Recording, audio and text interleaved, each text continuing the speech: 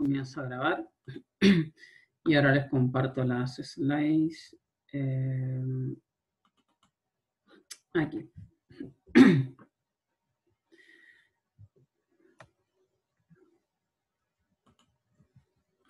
Ok, hoy vamos a ver el teorema maestro. ¿Se ven bien las slides, cierto? Sí, profe. Ok.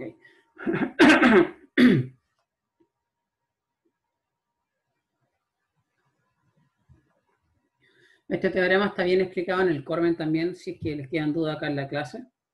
Eh, lo pueden ver. Y está en la página, la página 94 de la tercera edición del Cormen. Así que ahí está por si acaso. Hay, una- unos tips ahí para entenderlo mejor también. Así que a mí me gusta cómo está explicado. Bueno, acá lo vamos a ver hoy día.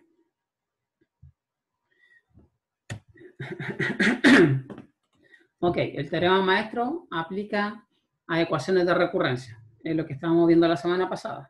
Recuerden que hay algoritmos recursivos y, o, o que se particionan y que es necesario hacerle un análisis distinto al- a los algoritmos clásicos secuenciales. ¿ya? Por tanto, su complejidad queda expresada de forma recurrente también. bueno, el teorema maestro aplica a, ecuaciones de recurrencia que tienen esta forma. ¿ya? T sub n es igual a una constante a por T sub n sobre b, que también es constante, más una función de n. ¿ya? Aquí eh, a tiene que ser mayor o igual que 1, ¿ya? Y b tiene que ser mayor que 1. Esa es la condición, ¿ya? Es decir, este argumento que está aquí, de la función del, del tiempo, de la recurrencia, tiene que irse achicando. Por eso b tiene que ser mayor que 1, ¿ya? Y, y esta llamada recursiva eh, tiene que hacerse eh, una o más veces. Por eso A tiene que ser mayor o igual que 1. ¿Ya? Bueno, se exige que f sub n también sea asintóticamente positiva. ¿Ok? Es decir, f de n eh, puede tomar valores negativos eh, para muchos n, pero a partir de un n, de, de un cierto umbral, siempre va a ser positiva. ¿Ya? Eso. Ok, vamos a demostrar, eh, vamos a calcular el teorema y demostrarlo para el caso sencillo, que es cuando f de n es eh, tita de n, ¿ya? O, orden de n, si usted quiere. Lo vamos a escribir solamente como c por n, ¿ya? Porque una función lineal se puede escribir de esa forma. Ok, entonces tenemos lo siguiente. Aquí tienen que estar bien atentos, chicos, ¿ya? eh, para que gastemos todos. Dice t sub n, ¿cierto? Es igual a nuestra ecuación. Y vamos a reemplazar f de n por c por n. ¿Ya? Y vamos a decir que t de 1 es igual a orden 1, 1 es igual a c, ¿cierto? Eh, el teorema de resolver para un elemento, ¿ya? Constante. Eh, perdón, la ecuación de recurrencia para resolver para un, para un elemento o tiempo. Ok, vamos a suponer nuevamente que nuestro n, eh, esto para hacerlo más sencillo la demostración, eh, es una potencia de b, ¿ya? Es decir, de este b que está aquí. Es potencia de b. Entonces, T sub n se reescribe de la siguiente forma. Eh, n, ¿cierto?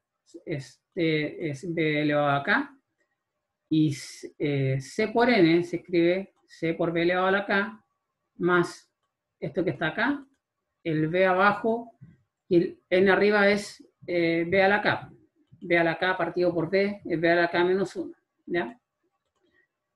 Queda de esa forma, que se ve más sencillo ahora. Vamos a hacer un cambio de variable nuevamente, como lo vimos en la clase pasada con recurrencia.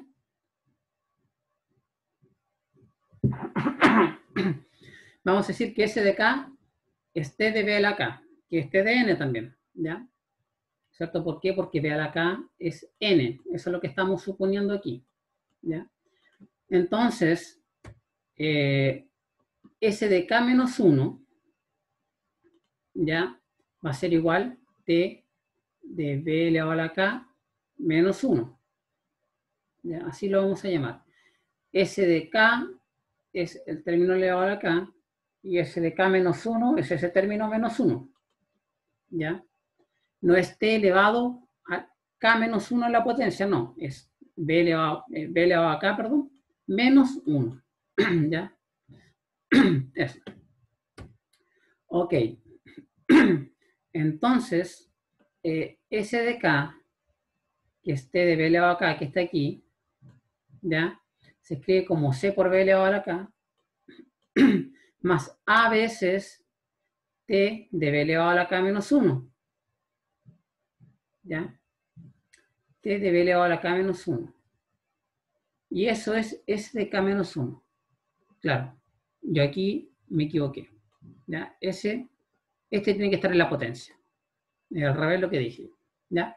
Tiene que estar en la potencia. ¿Ya? Porque el K, el K es el que, tiene menos 1, el argumento. B está elevado al argumento. Entonces, este de aquí está mal, ¿ya? Tiene que ser así. Para que lo... Yo lo voy a corregir cuando subo la celda ahí al, al, al Cibeto, ¿ok? y lo voy a anotar aquí, si no se me olvida. Se me olvida. Ya. Corregir.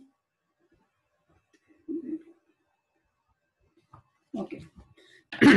ok, entonces tenemos que S de menos 1 es esto, y nos queda C por B elevado a la K, como está acá, por A por S de K menos 1. A por S de K menos 1.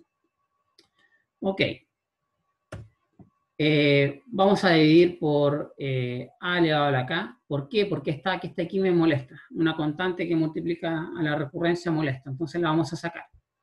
Es una técnica que se, que se ocupa. Entonces me queda S de K partido por A elevado a la K. Esto partido por A elevado a la K. Eh, como B está elevado a la K, entonces me queda la fracción elevado a la K. Y el A ahora se va, ¿cierto? Y aquí me queda eh, dividido por A elevado a K menos 1. Miren la forma que tiene este. S de K partido por A elevado a K. Y S de K menos 1 partido por A elevado a la K menos 1. ¿Qué creen que vamos a hacer ahora? Otro cambio de variable, ¿cierto? para hacerlo más sencillo. Le vamos a llamar R de K a esta fracción que está aquí, ¿ya? Si esto es R de K, entonces esto que está aquí necesariamente tiene que ser R de K menos 1, ¿ya? Y me queda eso. R de K es igual a C por, la fracción elevada a la K eh, más R de K menos 1, ¿ya? Y vamos a trabajar con esto. Hemos llegado a esto, tenemos dos cambios de variable, eh, hemos cambiado n por b elevado a la k, ¿cierto? Que está acá. Eh, tenemos s de k y r de k, perdón. s de k y r de k, ¿ya? A s de k le hemos llamado eh, t de n, es lo mismo, escrito de otra forma. Y r de k es un cociente entre s de k y elevado a la k, ¿ya? Eso hay que recordar. Ahora, dudas me van siguiendo, ¿cierto? Perfecto. ¿Estamos todos de acuerdo? Sí, profe. Bien. Cualquier cosa me interrumpen, me preguntan. Si no entienden de un paso al otro, por favor, interrúmpame nomás.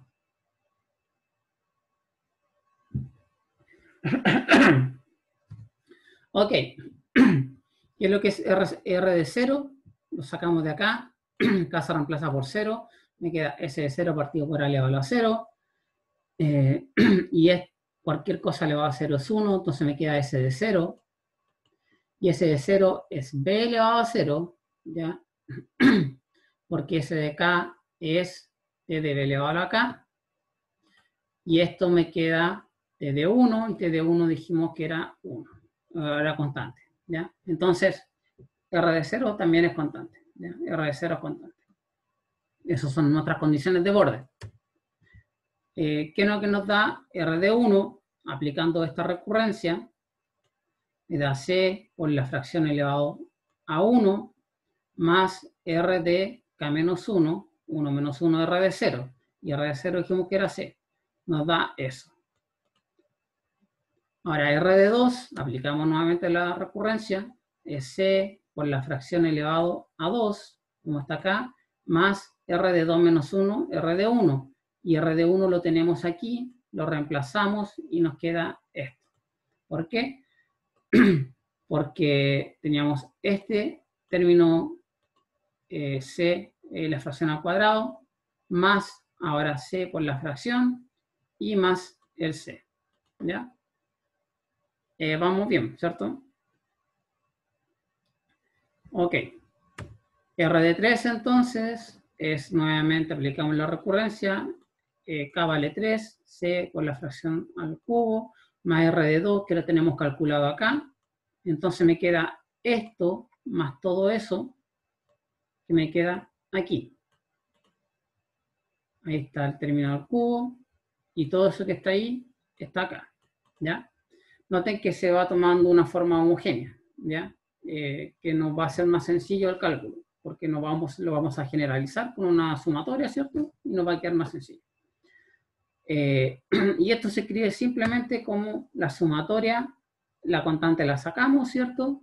De la fracción elevado a la i, desde i igual 0 hasta acá, ¿ya?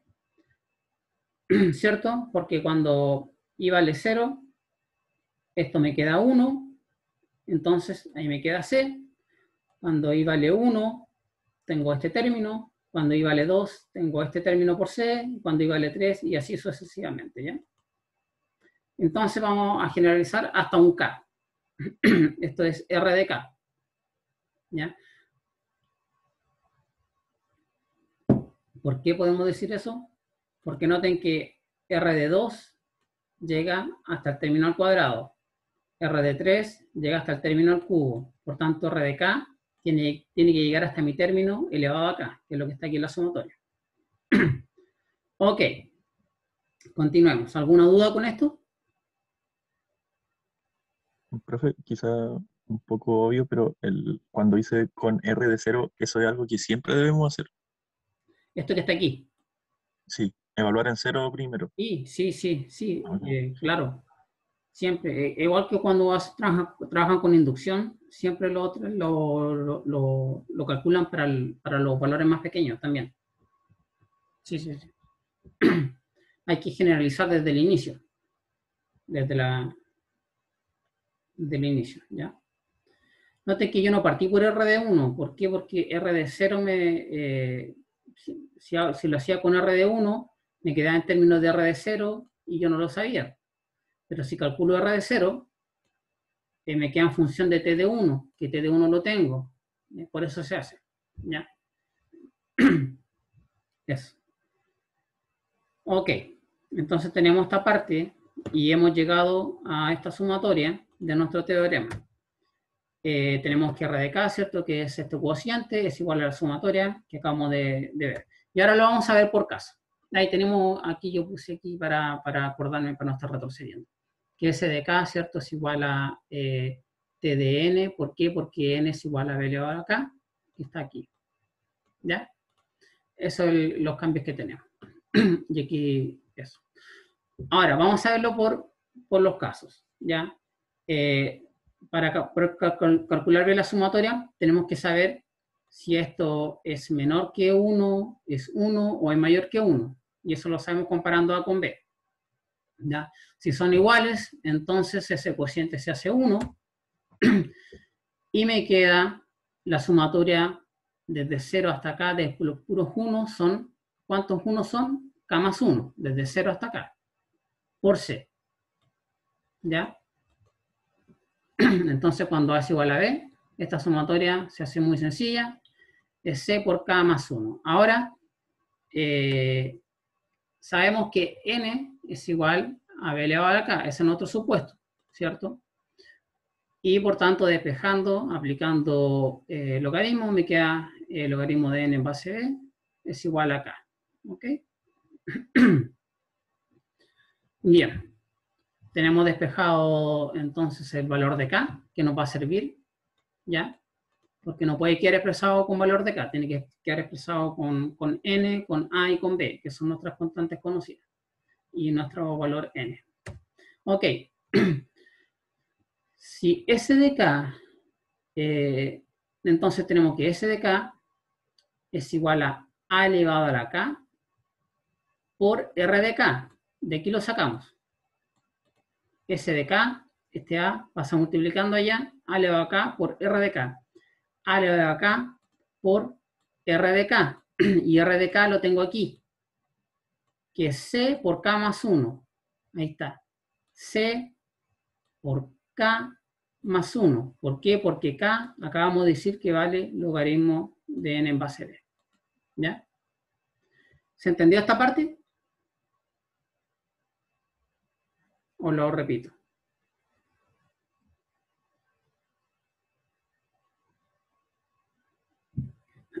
¿Se entiende esta parte aquí, chicos? La parte del logaritmo me... me Ya. Un poco... no. Bueno, primero, eh, esto de aquí se entiende. Esta es propiedad de logaritmo solamente. Aplicar logaritmo, ¿cierto? Aplicamos logaritmo a ambos lados, me queda logaritmo de n es igual al logaritmo de b elevado a la k. ¿Ya? Por propiedad del logaritmo, estamos aplicando el logaritmo en base b. Eh, por propiedad del logaritmo, el k pasa multiplicando y me queda logaritmo de b en base b, que es 1. Por tanto, aquí me queda k solamente, en este lado. Y acá me queda logaritmo de n en base b. ¿Ya?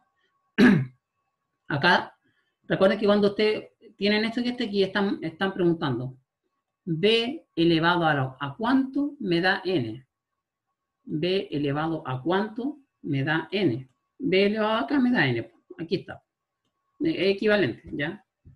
De hecho, aquí falta un... Bueno, equivalente, está bien. Entonces, ahora, yo tengo que formar S de K.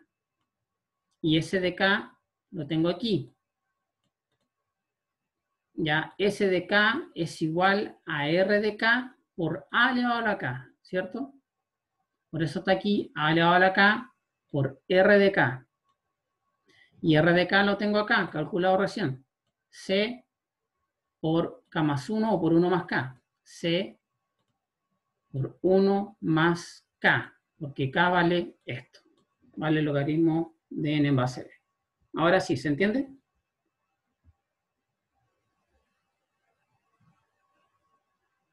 Sí, profe, ahora sí quedó más claro.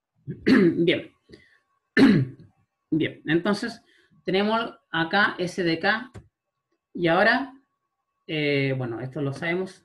Eh, ¿Por qué A elevado a K es igual a B elevado a K? A ver, así estamos captando bien. ¿Por qué? Porque dijimos que en este caso A era igual a B, ¿cierto? Por tanto, A elevado a K es igual a B elevado a K y también vale N. Por tanto, eso inmediatamente vale N. ¿Ya? En vez de A elevado a la K, le pongo N. N por C por eso. Y esto ya tiene una forma que es bastante conocida. Ya no tengo nada que seguir re- realizando ahí, cálculos, porque ya lo tengo. Ahora tengo que deshacerme a T de N nomás. Pero S de K es T de B elevado a la K, ¿cierto? Eso es lo que dijimos acá. S de K, y eso viene desde antes, lo que dijimos antes. Y B elevado a K es precisamente N. Entonces, S de K es T de N, es esto que está acá, y esto es claramente tita de n log n, ¿ya? Porque eh, no importa el valor de la base del logaritmo, no importa el valor de las constantes, acá lo que, lo que domina es n por este logaritmo, n log n, ¿ya? Eso es lo que domina ahí, ¿ya? Entonces, este es el, caso más sencillo, cuando A vale, eh, cuando A es igual a B, tenemos que y en nuestra función f de n, que es asintóticamente positiva, eh, eh, una función lineal en este caso, el caso sencillo, tenemos entonces que eh, la recurrencia eh, tiene un valor n log n. Vamos a ver un ejemplo con esto, así que con los ejemplos siempre queda más claro. Pero es bueno que entendamos cómo se demuestra el teorema, ¿ya? Cómo se demuestra el teorema. Ya. Vamos al otro caso, porque tenemos solamente el caso cuando A B, y ahora, ¿qué pasa si A es mayor que B? Entonces, esto que está aquí se hace menor que 1, ¿cierto? Se hace más chiquitito, ¿ya? Y podemos decir lo siguiente.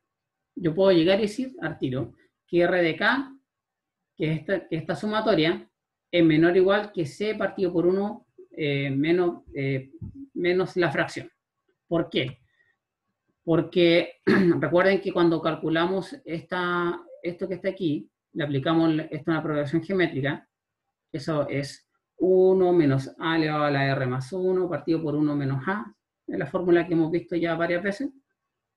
Entonces, aquí está, si yo eso le calculo el límite cuando n va al infinito, ¿ya? Eh, esto me queda, esto que está aquí.